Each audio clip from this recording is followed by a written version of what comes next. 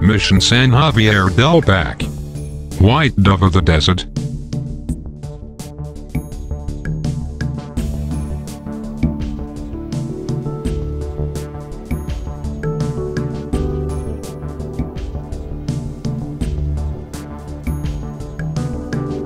A National Historic Landmark, San Xavier Mission was founded as a Catholic mission by Father Eusebio Kino in 1692. Construction of the current church began in 1783 and was completed in 1797. The oldest intact European structure in Arizona, the church's interior is filled with marvelous original statuary and mural paintings. It is a place where visitors can truly step back in time and enter an authentic 18th century space. The church retains its original purpose of ministering to the religious needs of its parishioners. The mission is 9 miles south of downtown Tucson, Arizona. Some 200,000 visitors come each year from all over the world to view what is widely considered to be the finest example of Spanish colonial architecture in the United States. The current church dates from the late 1700s, when southern Arizona was part of New Spain.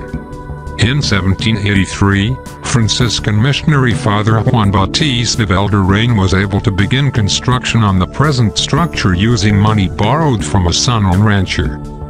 He hired an architect, Ignacio Gaona, and a large workforce of O'odham Indians to create the present church. Following Mexican independence in 1821, San Xavier became part of Mexico.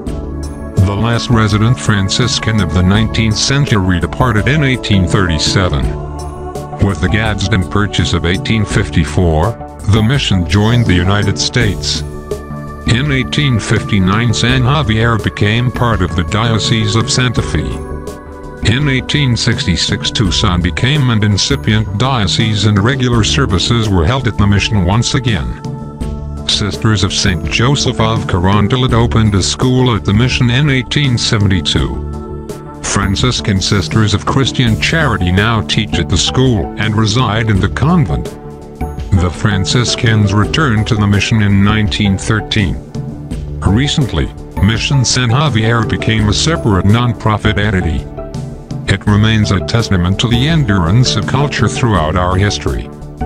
Today the restoration continues when funds are available.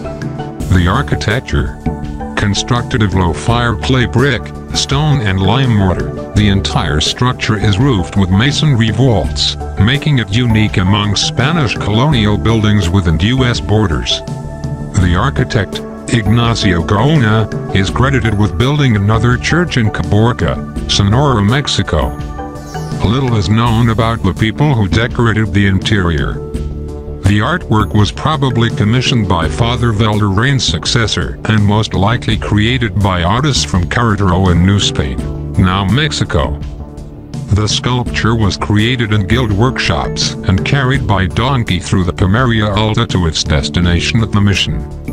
Craftsmen created gesso clothing once the sculpture was in place. The church contains numerous references to the Franciscan cord both on the facade and throughout the church a symbol of pilgrimage after the patron saint of Spain, Santiago or James the Greater, is replicated all through the structure in window treatments, the sanctuary, the facade and other details within the interior. The Baroque architecture style features playful dramatic elements such as theatrical curtain displays, faux doors, marbling, an overall sense of balance. An earthquake in 1887 knocked down the mortuary wall and damaged parts of the church. Extensive repairs began in 1905 under Bishop Henry Granjon. The next round of restoration followed the years after 1939 when a lightning strike hit the West Tower lantern.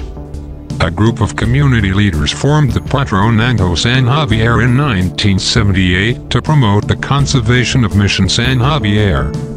Shortly after a comprehensive study of its condition was completed, water seeped into the west wall of the church's sanctuary, forcing an emergency conservation effort by the Patronato. In a five-year program, an international team of conservators cleaned, removed overpainting, and repaired the interior painted and sculptured art of Mission San Xavier del Bac. The Patronato continues exterior preservation work begun in 1999. Its restoration team is removing the earlier coating of cement plaster, repairing the historic brick beneath, and refinishing the exterior surface with a traditional lime plaster. The sooner the cement can be removed, the greater the amount of original fabric can be preserved. More remains to be done if we are to guarantee this landmark for future generations.